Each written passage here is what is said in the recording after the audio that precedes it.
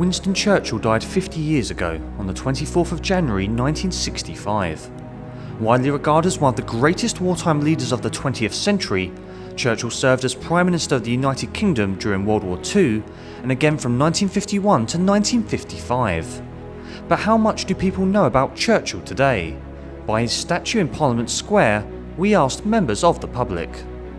I know that he took part in the Second World War and he was a strong fighter during the world during that war. Uh-huh. Um, didn't he wasn't very skinny.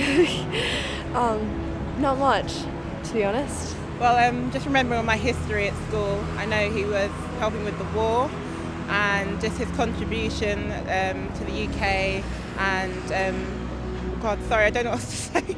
That's my basic knowledge that he helped during the war and his contribution he made um, to the UK. That's it. Of a great British leader during the war. Um, he, he wasn't. Uh, I, I, don't think he was uh, so well liked, uh, you know, by other uh, members of the of the Parliament. Uh, but at the time, at that time, uh, he, he, he brought us through. Yeah. Well, I admire him a lot because he was the great leader of England and of the rest of the world on the Second War, and he was the guy. he was the guy.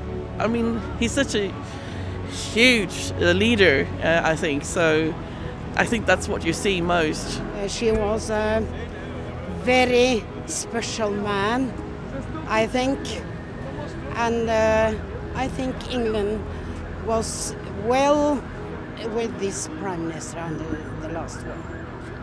Yes, I think he was a good man.